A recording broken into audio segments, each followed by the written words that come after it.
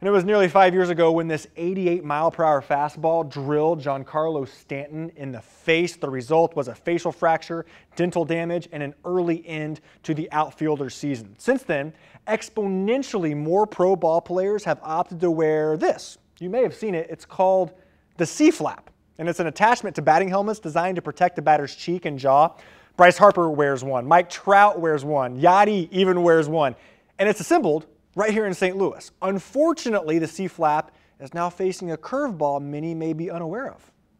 Markwort Sporting Goods started in St. Louis 88 years ago. Yeah. Their hottest selling item in 2019? Should have had you help me do these here. The C-flap.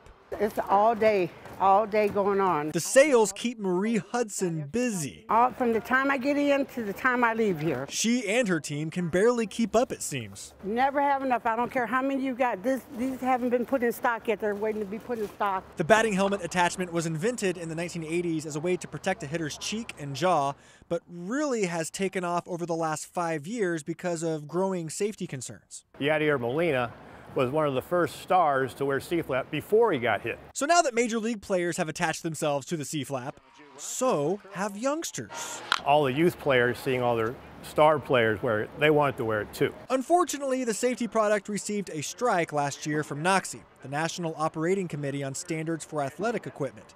They're an independent nonprofit that sets safety standards for athletic equipment. In order to attach the C-flap, you have to drill a couple holes in the helmet, but the process is very simple. The finished product looks like that. According to NOCSAE, however, attaching the C-flap may void any safety certifications. The issue for us is very specific.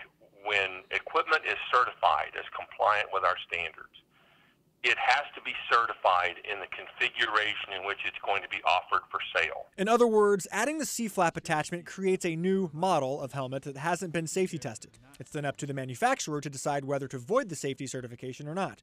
In some cases, this means little leaguers won't be allowed to wear C-flaps in a game.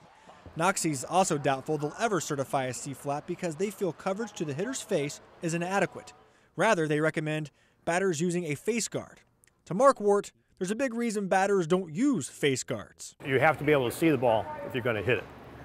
And uh, C-flap allows you to do that. So they're hoping baseball organizations embrace each player's personal decisions regarding safety. This is what we're going to do here. Because Markwort believes the C-flap makes hitters safer. You know, you can always ask Keith because he, he, he knows too. And so does Marie. Because I know I wouldn't want my son or, you know, go out there and faces here baseball coming at me, you know, without some kind of protection, you know.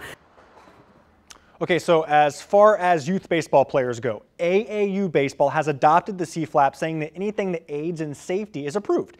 The National Federation of State High School Associations is allowing teams to make their own decisions regarding use of the C-flap. They granted both teams the, uh, granted, both teams agree on terms before the game. And if you have a child in Little League, they only allow C-flaps if hitters have a notice from the manufacturer stating the attachment doesn't void the helmet's NOCSAE certification, and that notice must be shown to the umpire before the game.